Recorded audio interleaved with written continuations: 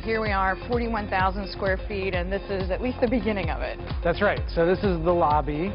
Welcome to YouTube's new production facility. Stacked with three sound stages, three green screens, 18 cameras, 22 editing stations, and no shortage of enthusiasm. I watch every single one, sometimes twice. so, if you want to do your Monty Python sketch, here's where to do it. Yes. It's all available for free to anyone making content for YouTube. You are amazing. Oh, stop it. Google spent an estimated $25 million on YouTube Space LA, a big investment in line with YouTube's new strategy, provide quality content. The business thinking behind this is we really have decided to make a bold move to invest in our creators.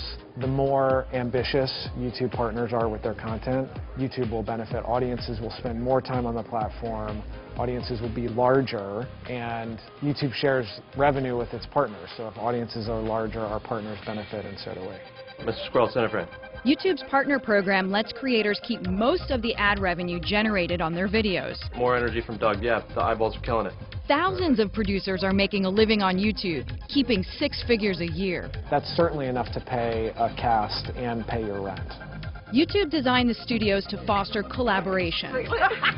There are screening and conference rooms where producers can pitch potential sponsors. This is a space not just for audience development on your channel, but also for channel development, which means the business of running a channel. In addition to LA, YouTube has studios in London and Tokyo, space to create for YouTube's 1 billion unique visitors a month. So what's a win for YouTube? If great ideas come out of this space and we can see partners doing things that they haven't done before with content, and those learnings can then be shared with the, the wider community.